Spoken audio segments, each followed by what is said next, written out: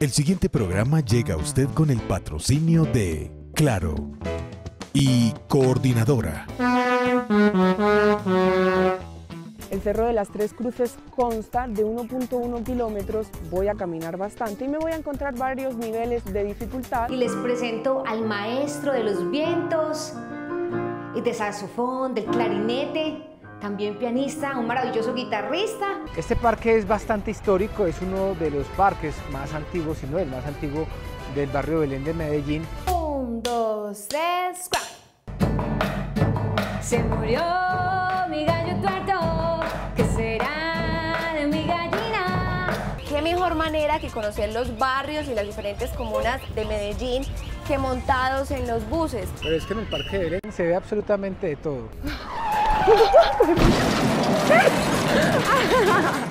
Esto resbala bastante.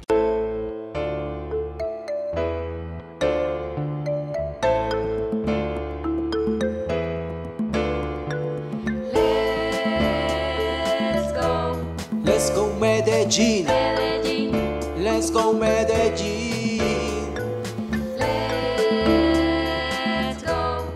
let's go Medellín, Medellín. let's go Medellín.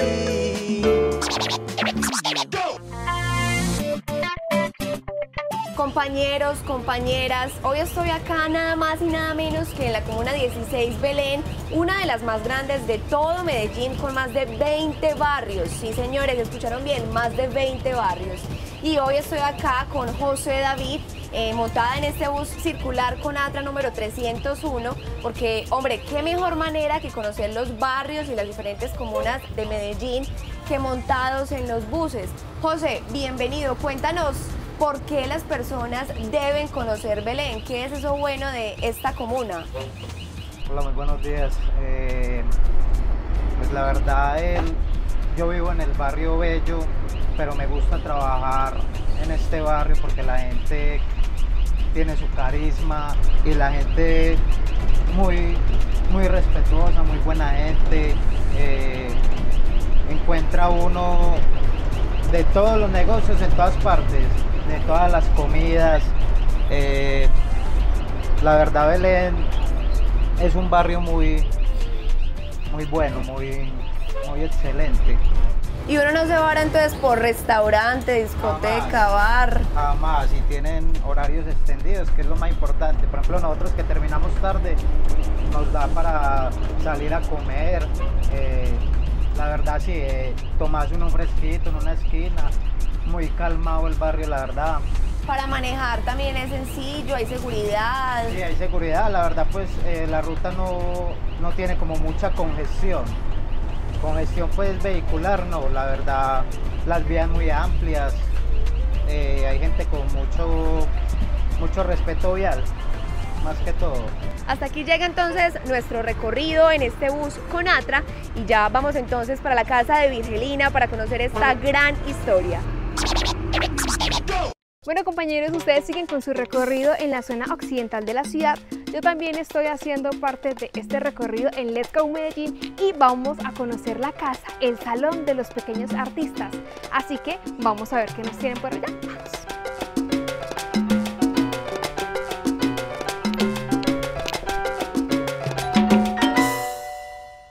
Hola. Buenas. Hola, ¿Cómo bienvenidos, bienvenidos. Síganse, por favor. Muchas gracias. Nosotros somos la Corporación Casa Estudio Pequeños Artistas. Estamos ubicados en el territorio de Belén, Comuna 16. Llevamos seis años en el territorio haciendo cultura, haciendo arte. Somos un colectivo de artistas, mm, casi todos músicos. Los fundadores son músicos, amamos la música y estamos convencidos del poder de la transformación que tiene el arte en las personas, eh, la transformación que puede hacerse a través de la cultura en nuestro territorio. Bueno, ¿y qué tal si hacemos una pausa y vamos a conocer todo este lugar lleno de magia y encanto que tiene para ofrecernos? Ay, claro que sí, Bueno, bienvenidos. vamos. Tenemos uno de nuestros salones de música y les presento al maestro de los vientos, y de saxofón, del clarinete, también pianista, un maravilloso guitarrista, nuestro coordinador eh, Bernardelli Gómez.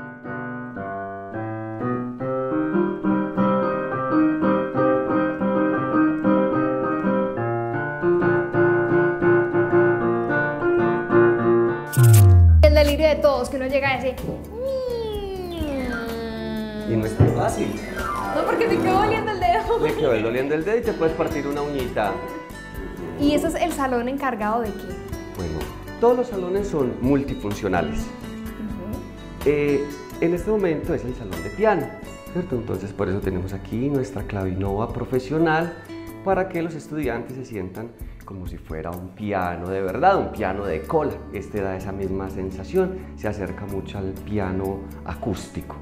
Pero bueno, no solamente acá en la academia hacemos piano, también tenemos otros instrumentos como la guitarra, como el clarinete, como el saxofón, el violín.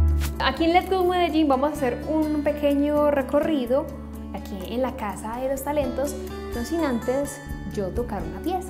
Por favor. Por favor. Así que lo voy a banquear de ahí. Por favor.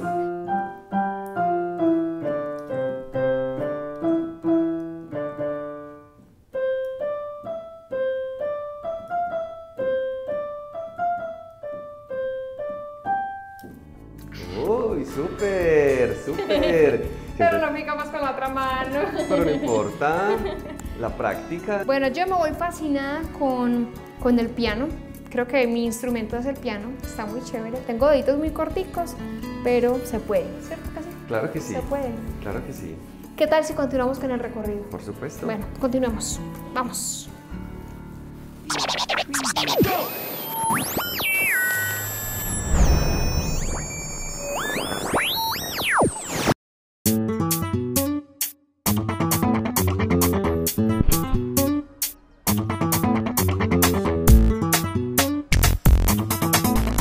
Después de este pequeño calentamiento ya estoy preparada para el cardio de hoy porque voy a hacer muy buen ejercicio subiendo el cerro de las Tres Cruces, aquí en el barrio Belén.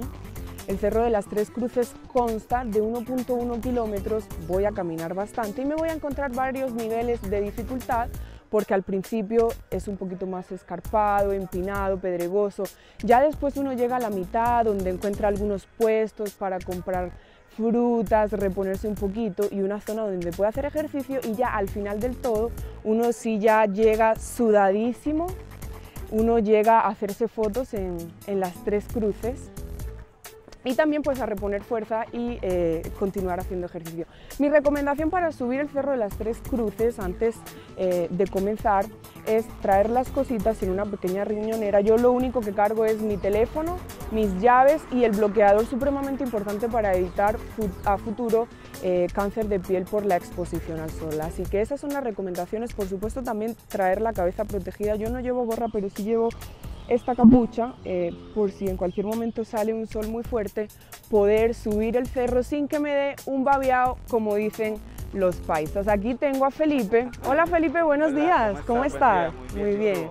Aquí con Let's Go Medellín voy a subir el, el morro. Morro de las tres cruces. Claro que sí. Felipe lleva aquí muchos años trabajando. Tengo entendido, Felipe, que es un negocio también familiar, ¿no? Porque aquí está tu mamá, doña, doña, Doña Laura. doña Laura. Mi sí. hermana Isabel y ya mi persona. ¿Cuántos años lleváis vosotros aquí? Ya llevamos 10 años ya, mi mamá ya 10 años, nosotros llevamos 8 años con el parqueadero y el lavadero, prestamos el servicio de lavar motico mientras la gente hace deporte, las cuidamos.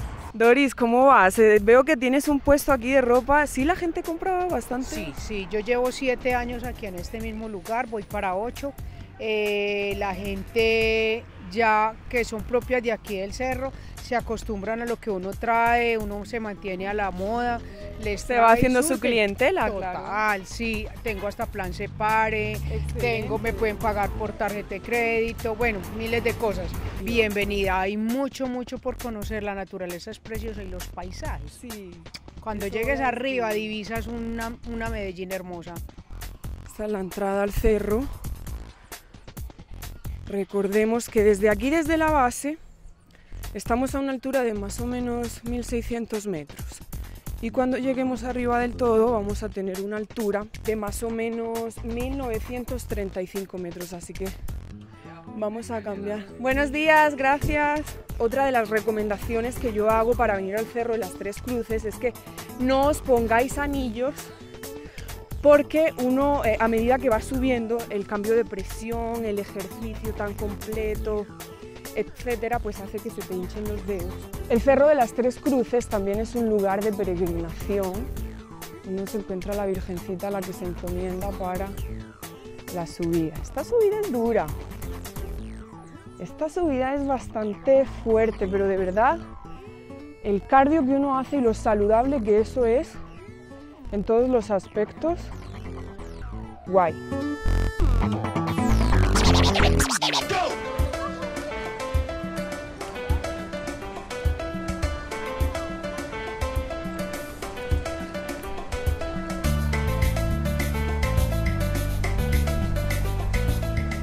Hoy me quise venir para el Parque de Belén y me encuentro al occidente de la ciudad de Medellín. Este parque es bastante histórico, es uno de los parques más antiguos, si no el más antiguo del barrio Belén de Medellín y pese a que lo han reformado en diferentes oportunidades, este parque sigue conservando esa característica de lo que en sus inicios fue, como una especie de pueblito. Tiene una cantidad de palomas, ya las voy a mostrar, miren qué cantidad de palomas las que a diario pues eh, habitan acá el Parque de Belén. Antes esto tuvo como tradición comercial que había mucha taberna, había mucho, eh, habían panaderías, pero con el paso del tiempo pues esto se fue transformando y ahora hay muchos bancos, ¿cierto? Eh, hay mucha entidad bancaria en esta zona y también pues comercio como panaderías y, y centros de supermercados. Pero acá también algo que llama mucho la atención es la iglesia del Parque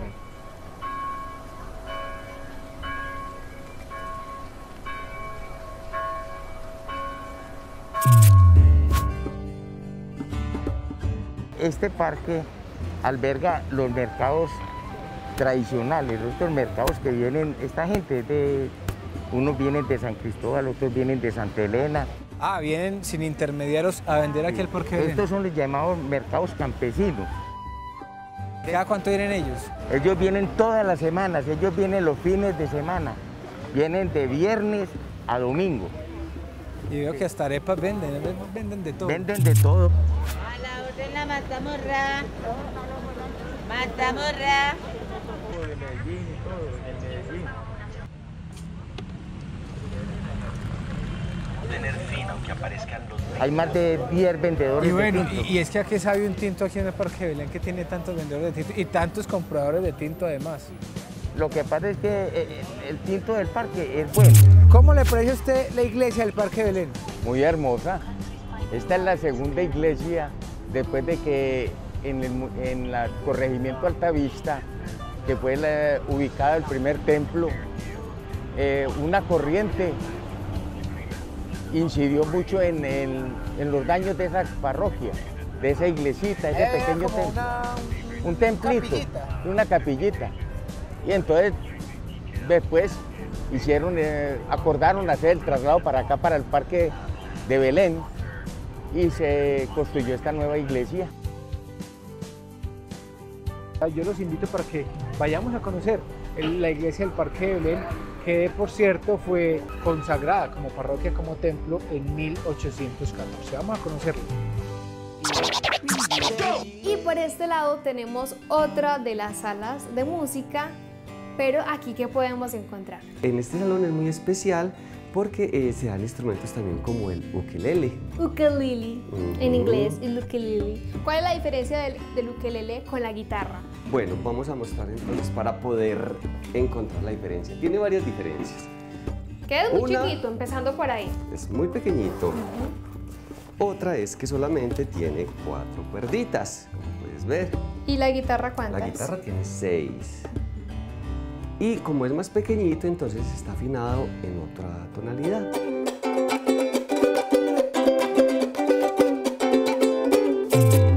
Es un salón muy especial, eh, damos las clases a niños muy pequeñitos que nos traen cositas, nos traen regalos, como por ejemplo este cartel que nos hicieron Vamos tan a ver hermoso. qué es ese cartel. Gracias por enseñarme a tocar guitarra. De María Ángel para el profe Bernardelli. Ay, cabando. Mismo cogí, lo pegué ahí, me tomé una foto con ella. Mm. Fue muy genial, de verdad me sentí muy feliz porque eh, siente uno que está haciendo bien la labor, Así que le es. está llegando a los niños con la música, con el amor, con eh, la perseverancia, porque hacer música no es nada fácil. Bueno, nos vamos de aquí del Salón de las Guitarras y seguimos nuestro recorrido por la casa. Claro que sí. Vamos. Un, dos, tres, cuatro. Se murió mi gallo tuerto, ¿qué será de mi gallina? Se murió mi gallo tuerto, ¿qué será? Me equivoqué. Íbamos súper bien, íbamos súper bien, eso es. Bueno, eso pero es. así es como aprenden ellas. Así es.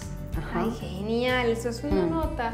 Aquí Mm. en este salón, en este, en este espacio, tenemos los tambores. Sí. Este instrumento se llama xilófono. Eh, sí, es un xilófono. Xilófono. Sí. Ahí sí, vea que iba por buen camino. Muy bien, tenemos todos los instrumentos de percusión menor porque aquí hacemos la iniciación musical y lo que queremos es que los niños hagan un recorrido por instrumentos que vayan sintiendo sobre todo el tiempo, la medida, para que ellos vayan ahí interiorizando la música, eh, que es lo que pretendemos desde la iniciación musical. ¿Y ustedes por qué se encaminaron por los niños? ¿Porque ellos tienen todo para digerir más rápido que un adulto o por qué? Nos encanta, somos apasionados de la música infantil. Entonces, somos compositores de música infantil, aquí creamos música para los niños. Bueno, ¿qué tal si nos dejamos en esta parte con música, arte y felicidad? Ah, vamos con una de nuestras composiciones, una de nuestras canciones que hemos hecho para todos los niños del territorio. Una historia de amor habitual. Al principio que se odian y al final porque se adoran. Había una vez dos hamsters, mucho que se odiaban.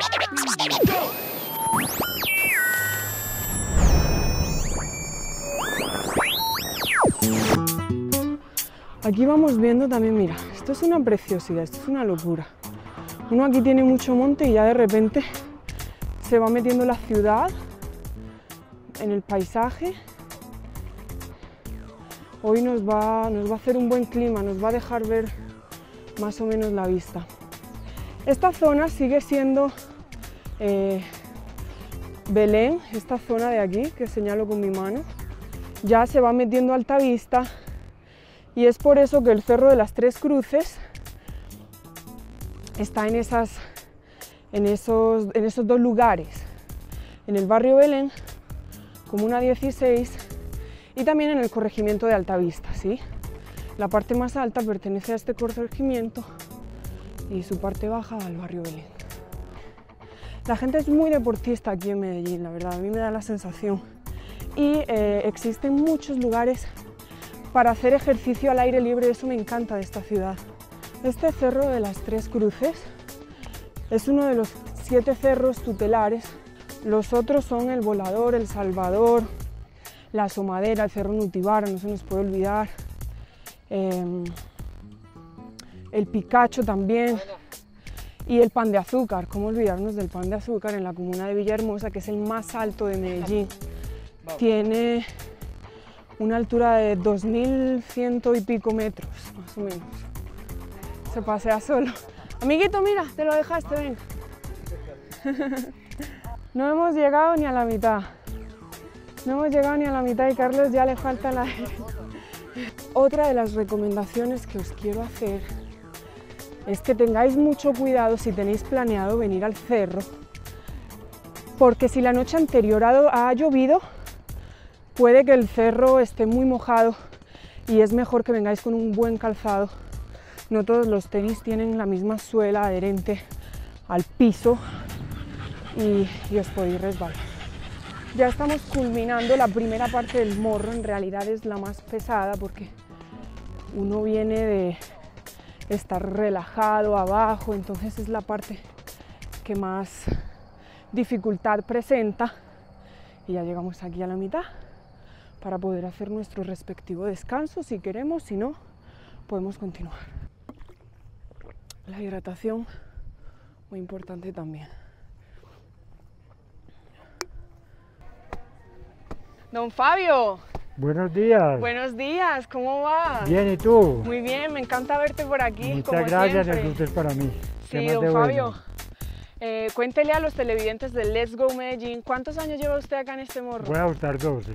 12 años Sí, acá. señora. Haciéndole la, la subida y la bajada a la gente más, más fácil, más segura. Claro que sí. Porque por acá suben muchos niños, mucho adulto mayor, mucho discapacitado. Entonces, mirando eso, me puse en esto, en esta labor. Vea, don Fabio, sí, yo también le, le voy a dar el agradecimiento, mire. Ay, tan linda, yo le pagué. Amén, mire. Yo le bendiga. corazón. Amén, corazón. Que esté muy bien. Todo lo cansado que habéis visto a Carlos ahora al principio, ahora está muy animado y él me ha propuesto que corramos hasta ahí arribita, hasta la próxima cimita, a ver quién llega antes. ¿Qué se va a ganar el que, se llegue, el que llegue antes, Carlos? Compra la fruta, el que llegue, el que llegue antes, no, mentiras, el que pierda compra la fruta. Va, ¿Sí va para esa, de una. Una, dos, tres.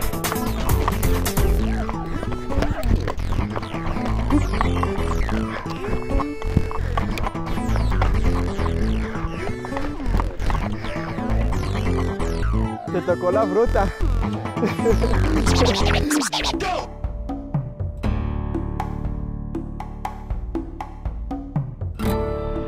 Es una de las iglesias más bonitas de la ciudad y tienen toda la razón, pues históricamente como que tiene muchas piezas, vamos a hacer un recorrido rápido por acá, por las imágenes y conserva pues imágenes muy antiguas acá en la ciudad y por supuesto pues las debe conservar porque es una parroquia que tiene muchos años y se convierte como nos decía nuestro invitado en una de de los lugares que más visitan los habitantes de la ciudad de Medellín. La imagen que no puede faltar, el corazón de Jesús, patrono de la ciudad de Medellín y de Colombia. Y por supuesto, pues como buena parroquia antigua, conserva por acá también un órgano, un piano y las imágenes tan bonitas que se tienen acá en la iglesia del Parque Belén. El lienzo que ustedes ven al fondo se los va a mostrar. Es el de Nuestra Señora de Belén. Ese lienzo, que es la patrona de este templo, pues fue robado, se lo robaron en el año 2014, en noviembre. En la parroquia Nuestra Señora de Belén se sigue comentando el robo de la patrona, la que por 200 años ha acompañado a los feligreses de Belén. Los investigadores aún siguen detrás de esto eh, de manera que podamos, por lo menos los sacerdotes de la parroquia esperamos contar con una respuesta positiva y lo más ligero posible. Por fortuna pudo ser recuperado por las autoridades y otra vez puesto en su lugar. Es como el dato curioso de este templo. Pero es que en el Parque de Belén se ve absolutamente de todo. Uno ve acá ventas, también de animales, de cultura. Y miren, miren, miren.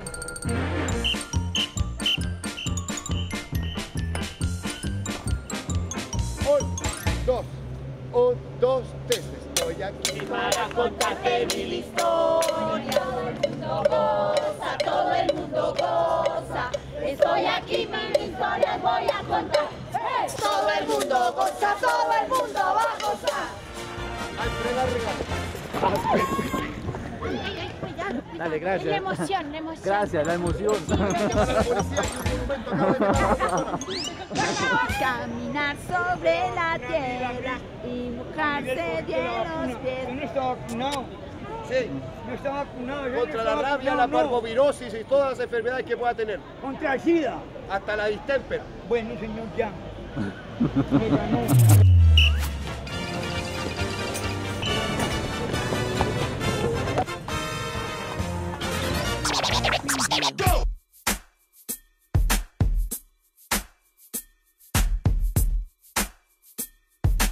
Eh, Ave María, hemos sabido llegar acá a la casa de Claudia Mora, o también conocida como Virgelina.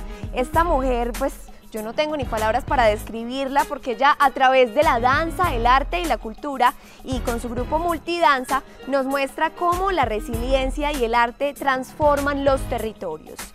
Precisamente vamos para la casa de ella, estoy a pocos minutos de conocerla. Ella nos va a contar cómo ha sido su trayectoria, cómo comenzó.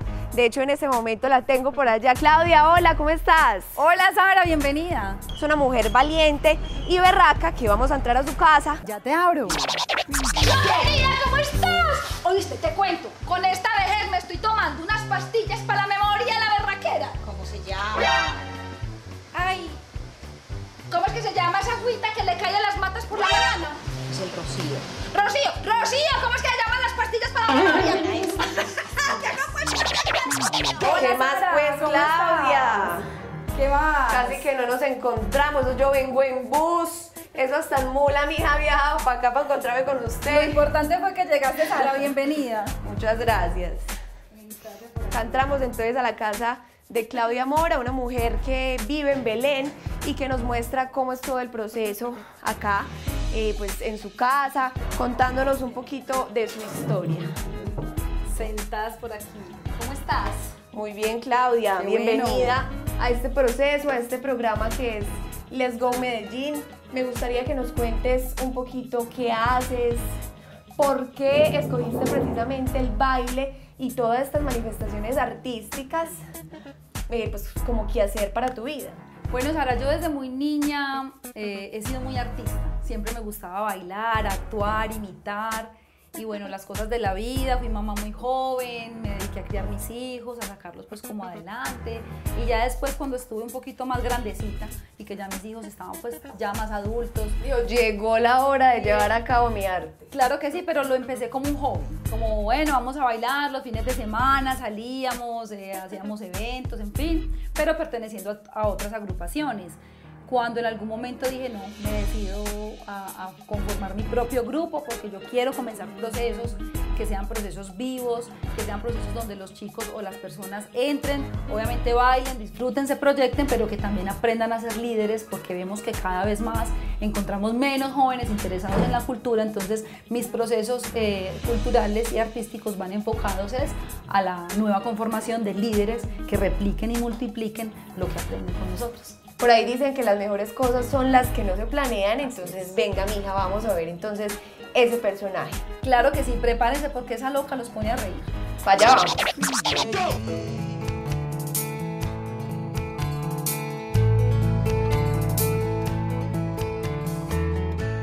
Y del Parque Belén nos hemos querido venir para otro Belén, Belén Las Violetas, otro barrio muy icónico de nuestra ciudad, del sector de Belén, y con el escudo atrás de Nacional y Medellín en esta cancha tan grande donde se hace mucho deporte, pues también quiero presentarles unos líderes que trabajan mucho por este barrio eh, y que trabajan desde todos los aspectos. Acá los tengo.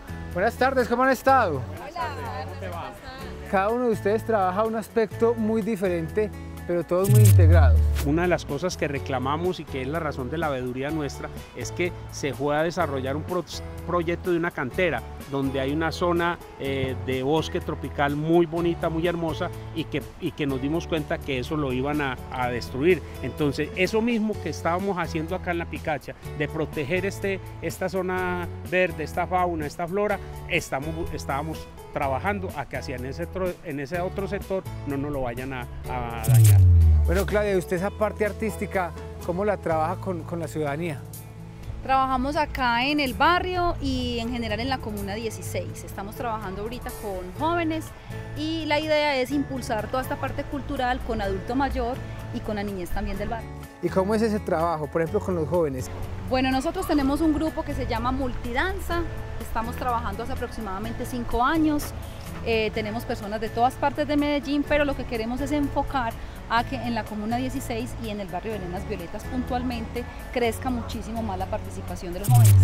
Doña Olga, yo le hago una preguntita. Una persona que no conozca este barrio, cuando vaya a venir, ¿usted qué le recomienda que no puede dejar de conocer? Ya les mostré acá una quebrada, un, un camino y un sendero peatonal lleno de naturaleza. ¿Qué otra cosa tienen que conocer acá?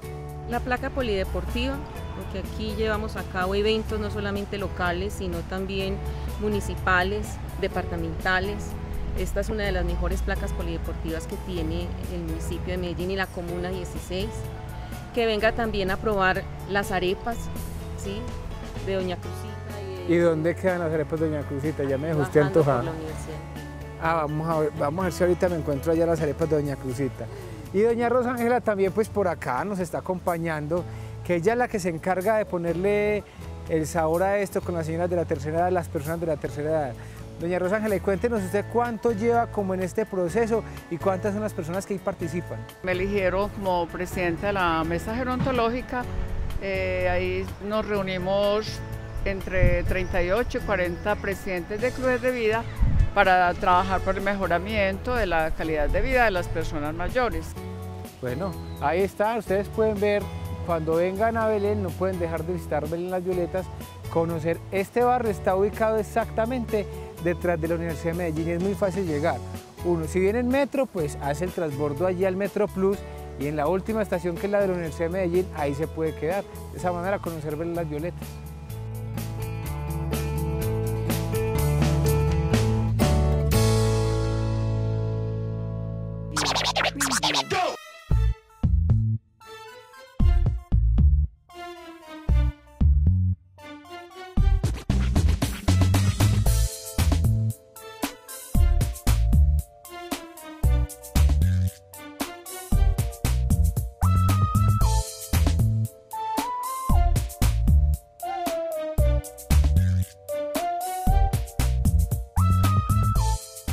A ver entonces cómo va Claudia aquí con su personaje para que comencemos a recorrer nada más y nada menos que las calles de Belén Las Violetas. Ave María, pues que ya tenemos aquí Mira, un cambio querida, extremo. ¿qué más? ¿Cómo estás? A ver, yo veo, pero a ver, Pero para allá y me da una, modelo querida, ve. una vueltecita. Traída por allá de las montañas de Antioquia. Mira, aquí en el barrio mío hay muchísimos personajes importantes y mucha gente que ha ayudado al crecimiento de la comunidad. Dentro de esos tenemos algunos gestores culturales, tenemos algunos gestores espirituales y religiosos, otros que son gestores del barrio y de sus cuidados ambientales. En Líderes sociales. Líderes sociales. Contanos las personas que tienen que conocer de este barrio y por qué tienen que venir. Acá hay mucho para hacer. Ve acá, hacen campeonato de fútbol y se llena esa cancha así la cosa más impresionante. Son niños, adultos. Eso es para todo el mundo que venga. Acá hay para que vengan. Hay unos chorizos allí en la esquina que el que venga se lo tiene que comer. Con limoncito, un Ay, choricito. mija, por Dios, eso tiene una ensalada más buena que un berraco. Hay muchos bares, estaderos que son conocidos en toda la comuna y en Medellín. Y vienen para acá y se sientan a hablar bobadas, a rajar del prójimo, mija. Bueno, ¿para dónde vamos en este momento? En este momentico estamos caminando hacia una de las tiendas populares que existe hace muchísimos años aquí en Las Violetas. Yo le pongo por ahí cuarenta y pico, ahora le preguntamos a ese señor. Llegamos nada más y nada menos que a la Tocata Verde y pues no hay Tocata Verde si no conocemos al creador y el fundador que es Elkin Rodríguez. Ave María, qué personaje acá. Venga, sentémonos por acá si quiere. Sentate, querida, sentate que está en tu casa. Don Elkin, ¿cómo está? Mucho gusto. Mucho gusto. Cuéntenos, esta tienda, ¿hace cuánto tiempo está en el barrio? Por ahí 58 años. 58 años. Esto es, una, esto es una herencia acá porque la manejó mi papá, mis tíos, mis hermanos y yo soy el último que, que trabajó en ella. Acá las personas que hacen vienen en estas Vienen mesas, juegan cartas. que juegan cartas, juegan dominó, juegan, juegan parqués, Bueno, y en esta tienda hay variedad de todo, me puedo encontrar. vendemos aguardientico, vendemos cerveza, vendemos gaseosa, hay mucho de qué deleitarse en Lo primero que menciona él es el aguardientico Sí, y es que eso no se esencial. puede perder. no puede faltar. Eso es lo esencial, eso es lo esencial, amor. Esa es la materia prima pues de aquí. Esa es la mano derecha acá. Óigame, don Elkin, ¿cuánto tiempo lleva usted viviendo en Las Violetas? 60 años. ¿Y por qué las personas tienen que venir a este barrio? Usted que también es aquí prácticamente pionero de, de Belén Las Violetas, ¿por qué tienen que conocer este sector? Será por lo antiguo. Acá tenemos entonces el recorrido del Atlético Nacional 1989 a 2019. ¿Son amantes ustedes entonces de Atlético Nacional? ¿Quiénes son eh, estos? A ver. Leonel Álvarez. Donel Álvarez, y mira esa foto. Ay, Ah, no, es que este tipo se codea con lo mejorcito. Y aquel es, vea, Andrés Escobar, Leonel Álvarez y Maturana. Maturana. Siempre ha sido hincha del verde. Sí, toda la vida, toda la vida. Permiso, acá mostramos la tiendita, que nos podemos encontrar. Acá hay lo que usted quiera, vea, desde papita, bombombón, bebidas, licor, lo que se imagine, acá lo puede encontrar en la tocata es. Tocata verde. La tocata verde. Oíste, vos, ¿por qué vas con una pala? ¿Eso qué significa? ¿Para dónde es que vamos? Ay, Sara, el trabajo del paliador es muy duro. Oiga, y me ha tocado hacer de todo en esta vida. Pero por lo menos yo no vivo de esto porque, ja, mejor dicho, ampollas en las manos. Y conozco un grupo de personas aquí en el barrio Belén Las Violetas que se encargan de hacer esta labor tan hermosa en la quebrada La Picacha y te los quiero presentar. No son cualquier persona, son héroes que día a día se salen a rebuscar el diario y a, a través de paliaditas salir adelante. Vamos entonces aquí a mostrarlos. ¡Aquí muchachos! ¿Cómo están? Mira, se me va a hablar. Suba, suba, A ver, vamos a subir. Espera para que los conozca. Ay, pucha, Acá me le voy a sentar a un ladito. ¿Cuál Ay, es su nombre? Con María. ¿Cuál es su nombre? Don Luis Castaño. John Luis, cuéntenos ustedes acá qué hacen.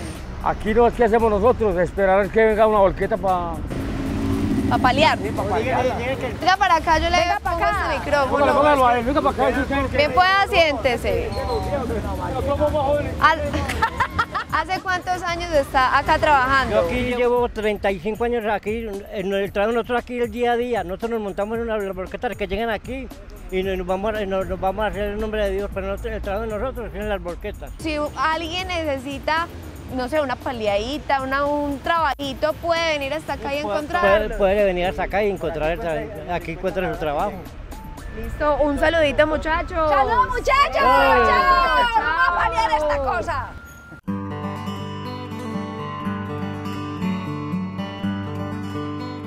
Finalizando el recorrido, nos encontramos en uno de los rinconcitos de la casa que no signifique que deje de ser uno de los más importantes porque se trata del escenario. Aquí es donde recibimos al público y donde estos chicos hacen sus presentaciones. ¿Es así? Sí, somos una sala abierta a la alcaldía de Medellín y es maravilloso para nosotros poder tener una programación activa eh, para todo el territorio. Bueno, aquí en esta casa encontramos arte, encontramos clases de danza, clases de guitarra, clases de violín, clases de tambor, eh, clases de canto.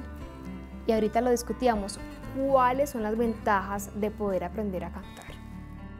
Bueno, aprender a cantar y no solo a cantar, sino a tocar cualquier instrumento es algo que llena a la persona, que le da fortaleza, que le da vida, de ser tolerante a la frustración, de pensarse a sí mismo que sí se puede y que sí se puede lograr el objetivo que se Me proponga. gusta mucho eso, ser tolerante a la frustración, porque es que es lo mismo como en el deporte, uno tiene que aprender a saber perder. Ujú. Aquí uno también tiene que aprender a qué.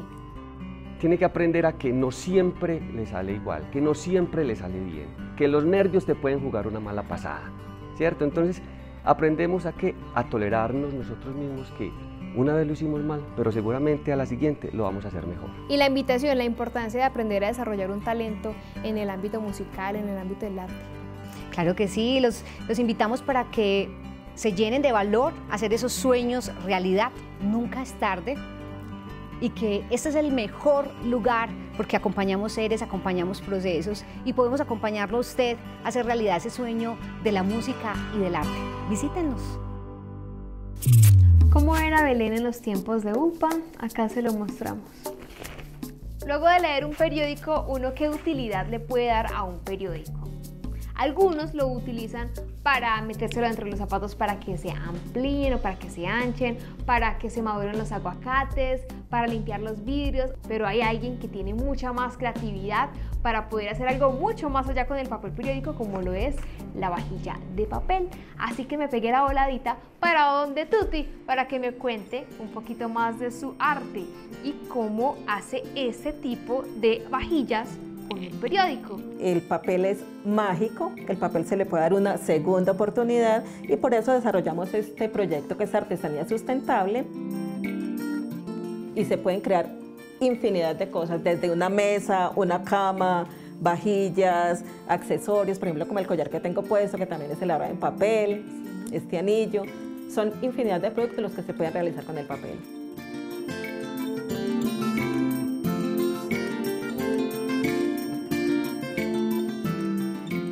Sirven de centros de mesa, podemos poner confites, podemos ponerle un trapito y poner panes. Lo único que les comento es que sí, no los pueden dejar sumergidos en agua porque ellos están protegidos en el exterior, sí están impermeabilizados, pero en el interior no.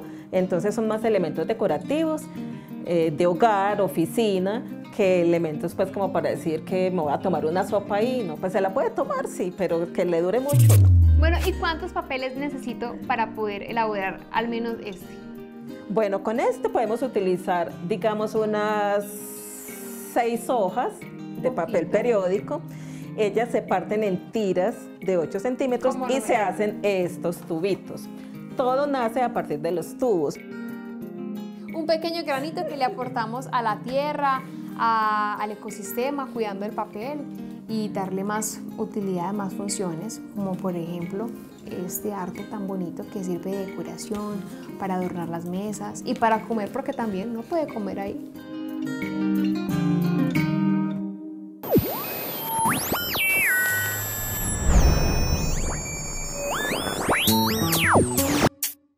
Coronamos, coronamos.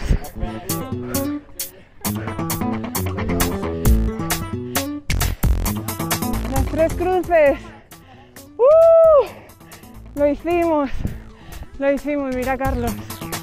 Uh. Ahora tú llegas al morro y lo que tienes que hacer es abrazarte un árbol.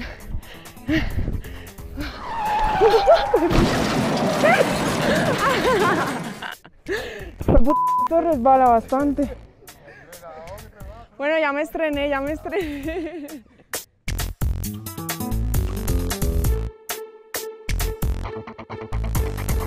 Hola amigo, Hola, buenos días. ¿cómo vas? Bien. Eh, te interrumpo la lectura. Sí, bueno, estoy escribiendo un ratito. Sí, estás escribiendo con esta vista Sí. tan inspiradora. Claro. Y tú vienes aquí al cerro a hacer ejercicio también. Sí, ya lo hice ya. ¿Ya, ya practicaste Sí, ahí? ya. ¿Qué te gusta hacer cuando vienes? Pues la- las flexiones y Barritas. troto un ratico. Ok, entonces después aprovechas para relajar. Sí, aquí ya me inspiro a, a la- a escribir un rato, cosas de la ¿Poesía? vida. ¿Escribes poesía, Sí, canciones o qué? De ¿Qué todo lo que pasa en mi vida. Mi vida es muy qué interesante. rico, súper excelente. ya sabéis que cuando vayáis abrazados a un árbol tenéis que aseguraros que, que el suelo no esté resbaladito. Ya por fin encontramos el lugar donde venden las frutas para uno reponer vitaminas, energía, minerales, de todo. ¿Qué vendes para uno poder reponer energías? Proteínas o Proteínas. jugos en leche. Quiero una papayita de estas. Mira las cruces. Las cruces del Calvario. Aquí hay otra pequeña réplica de las tres cruces. Sí será un calvario subir este morro. Yo digo que de pronto la primera vez sí. Pero ya después de ahí para adelante esto es delicioso. Uno suda mucho, elimina cosas malas que tenga en el cuerpo. Y, nada, voy a comerme mi papaya ya por fin. Entonces me ha venido un olor a chorizo delicioso. Yo voy a ir aquí a este mirador, que esto ha cambiado mucho, he de decir que esto está muy nuevo. Juan, ¿cuánto tiempo llevan ustedes aquí? Esto es nuevo. En el cer- acá como tal llevamos un año y poquito, pero en el cerro estamos hace 25 años. Porque esto sigue siendo el Cerro de las Tres Cruces, esto es la parte de Y la parte de todo, todo completo, el cerro Las Tres Cruces, ahora parque ambiental. Ok, parque ambiental. ¿Y cuántos años llevan ustedes acá con los negocios? Llevamos 25 años. Yo desde los 7 años fundé las tiendas en el cerro, las siguieron mis papás y ahora vuelven a mí acá ya más atrás luego de la modificación que está haciendo la alcaldía. Para el cerro ha sido un cambio gigante ya que primero casi no era tan conocido. Ahora es un ícono de la ciudad. Ya el que no viene a Medellín y no sube al cerro, no vino a Medellín. Acá es un restaurante de comida típica. Tenemos desde los chorizos, chicharrón, calentado, bandeja paisa. Tenemos trucha y tilapia. Y ya si tenés una, una cervecita, también te la servimos acá. Bueno, hice mucho ejercicio, yo creo que mejor me voy a tomar un chocolatico con un desayuno y un chorizo, yo lo quiero con chorizo. Bienvenida y con mucho gusto. Mi merecido desayuno, mira qué pintaza tiene este chorizo. Háblame de esto y mira esta vista que tengo aquí de la ciudad. Esto es un- una ubicación privilegiada porque bueno, y con este pedazo de desayuno yo me voy a despedir desde aquí, desde el Cerro de las Tres Cruces. Muy buen parche para uno hacer un ejercicio súper completo y reponer energías después. Chao, let's go Medellín. ¡Woo!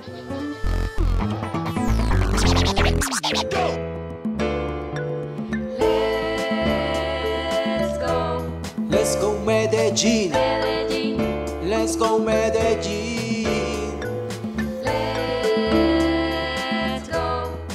Go Medellín. Medellín. Let's go Medellín.